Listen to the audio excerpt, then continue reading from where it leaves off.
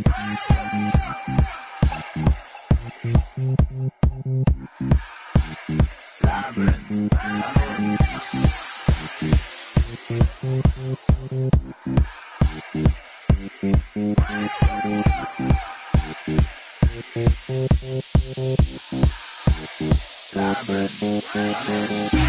and gentlemen, this is something they call a groundbreaker me first apologize to the shots and the ties for your makeup.